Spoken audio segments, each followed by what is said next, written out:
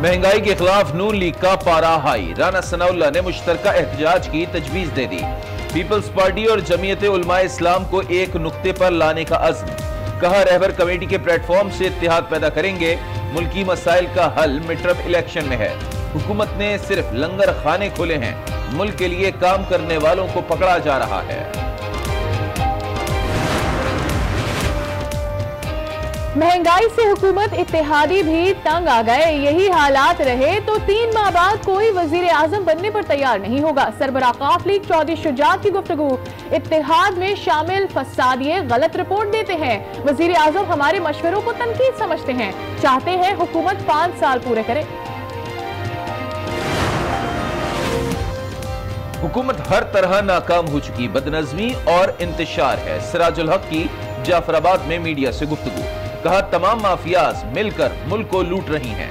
بلوچ محب وطن ہے، ساتھ لے کر چلنے کی ضرورت ہے۔ رہنما تحریک انصاف نعیم الحق کی نماز جنازہ بار اثر ادا کی جائے گی۔ کراچی ڈیفنس عائشہ مسجد میں تیاریاں۔ رہائش گاہ پر تعزیت کرنے والوں کی آمد جاری۔ وزیر داخلہ اعجاز شاہ بھی پہنچے۔ پی ٹی آئی کا تین روزہ سوک کا اعلان، سیاسی سرگرمیاں معطل رہیں گی۔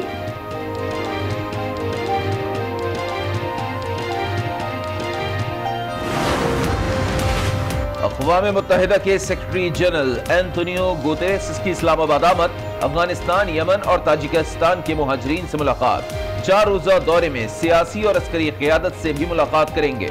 مسئلہ کشمیر اور افغانستان سمیت خطے کی صورتحال پر تبادلہ خیال ہوگا۔ پاکستان امن کا مستقل مزاج اور قابل بھروسہ حصہ دار ہے۔ دنیا بھر میں یو این امن مشنز میں شامل ہے۔ سیکریٹری جنرل اقوام متحدہ انتونیو گوتیریس کا پاکستان آمد سے قبل ٹویٹ۔ امن کوششوں پر اظہار تشکر۔ فائنینشل ایکشن ٹاسک فورس کا اجلاس کل سے پیرس میں ہوگا۔ پاکستان کا نام گرے لسٹ سے نکالنے سے متعلق فیصلہ کیا جائے گا۔ اجلاس پانچ دن تک جاری رہے گا۔ پاکستانی وفد کی قیادت وفاقی وزیر حماد اظہر کر رہے ہیں۔ پیپلز پارٹی کے رکن سندھ اسمبلی شہناز انصاری کو سپرد خاک کر دیا گیا۔ نو شہر و فیروز میں نماز جنازہ ادا کی گئی۔ گزشتہ روز قاتلانہ حملے میں جاں بحق ہو گئی تھی۔ مرکزی ملزم وقار کھوکر کی بہن سمیت دس سے زائد افراد گرفتار۔ ایم پی اے تحفظ کے لیے ہمارے پاس نہیں آئی ایس ایس پی کا موقف۔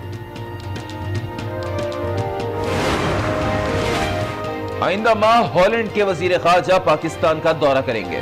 ہالینڈ کی متعدد کمپنیاں پاکستان میں سرمایہ کاری کر رہی ہیں۔ باہمی تجارت کا حجم جلد ایک ارب سے تجاوز کر جائے گا۔ قائم مقام سفیر اعزاز خان کی گفتگو۔ کہا، پاکستانی طلبہ کے لیے اسکالرشپس اور دیگر پروگرام کے مواقع موجود ہیں۔